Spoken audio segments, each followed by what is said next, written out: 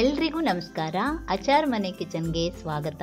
ಇವತ್ತಿನ ವಿಡಿಯೋದಲ್ಲಿ ನಾವು ಎಳೆ ಗೋಡಂಬಿ ಹಾಗೂ ಆಲೂಗಡ್ಡೆಯಿಂದ ಒಂದು ಟೇಸ್ಟಿ ಆಗಿರುವಂತಹ ಹಾಗೂ ಡಿಫ್ರೆಂಟ್ ಆಗಿರುವಂತಹ ಒಂದು ರೆಸಿಪಿಯನ್ನು ಮಾಡೋಣ ಬನ್ನಿ. ಇಲ್ಲಿ ನಾನು ಮೂರು ಆಲೂಗಡ್ಡೆಯನ್ನು ತಗೊಂಡಿದ್ದೀನಿ. ಅದನ್ನು ಈ ರೀತಿ ಉದ್ದುದ್ದ ಕಟ್ ಮಾಡಿ ಇಟ್ಕೊಂಡಿದ್ದೀನಿ ಇವಾಗ ಆಲೂಗಡ್ಡೆಯನ್ನು ಬೇಯಿಸ್ಕೊಳ್ಳೋಣ. ಒಂದು ಪಾತ್ರೆಗೆ ನೀರನ್ನು ಸೇರಿಸಿಬಿಟ್ಟು ಅದನ್ನು ಸ್ವಲ್ಪ ಬಿಸಿ ಆಗೋದಕ್ಕೆ ಬಿಡೋಣ. ಇವಾಗ ನೀರು ಸ್ವಲ್ಪ ಬಿಸಿ ಆಗಿದೆ. ಇದಕ್ಕೆ ಕಟ್ ಮಾಡಿ ಇಟ್ಕೊಂಡಿರುವಂತಹ ಆಲೂಗಡ್ಡೆಯನ್ನು ಸೇರಿಸ್ಕೊತಾ ಇದ್ದೀನಿ.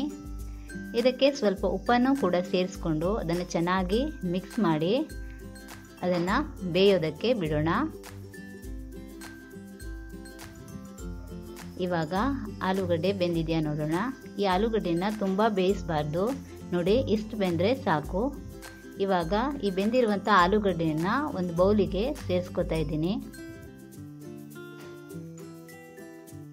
ಇವಾಗ ಒಂದು ಪಾತ್ರೆಗೆ ಒಂದು ಎರಡರಿಂದ ಮೂರು ಸ್ಪೂನ್ ಆಗುವಷ್ಟು ಅಡುಗೆ ಎಣ್ಣೆಯನ್ನು ಸೇರಿಸ್ಕೊಂಡು ಅದಕ್ಕೆ ಸಾಸಿವೆ, ಹಸಿಮೆಣಸಿನ್ಕಾಯಿ, ಕರಿಬೇವಿನ ಸೊಪ್ಪು ಹಾಗೂ ಸಣ್ಣ ಮಾಡಿ ಕಟ್ ಮಾಡಿ ಇಟ್ಕೊಂಡಿರುವಂತಹ ಶುಂಠಿಯನ್ನು ಸೇರಿಸ್ಬಿಟ್ಟು ಸ್ವಲ್ಪ ಫ್ರೈ ಮಾಡ್ಕೊಳ್ಳಿ. ಇವಾಗ ಇದಕ್ಕೆ ನಾನು ಎಳೆ ಗೋಡಂಬಿಯನ್ನು ಸೇರಿಸ್ಕೊಂಡು ಫ್ರೈ ಮಾಡ್ಕೋತಾ ಇದ್ದೀನಿ. ಈ ಗೋಡಂಬಿಯನ್ನು ಸೇರಿಸೋದ್ರಿಂದ ಪಲ್ಯಕ್ಕೆ ತುಂಬ ಟೇಸ್ಟ್ ಬರುತ್ತೆ.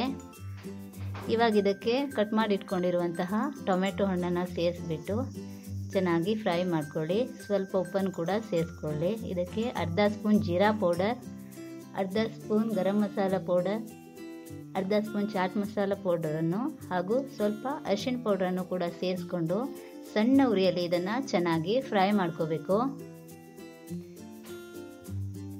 ಇವಾಗ ನೋಡ್ತಾ ಇರ್ಬೋದು ನೀವು, ಚೆನ್ನಾಗಿ ಫ್ರೈ ಆಗಿದೆ. ಇದಕ್ಕೆ ಬೇಯಿಸಿಟ್ಕೊಂಡಿರುವಂತಹ ಆಲೂಗಡ್ಡೆಯನ್ನು ಸೇರಿಸ್ಬಿಟ್ಟು ಚೆನ್ನಾಗಿ ಮಿಕ್ಸ್ ಮಾಡ್ಕೊಳ್ಳಿ.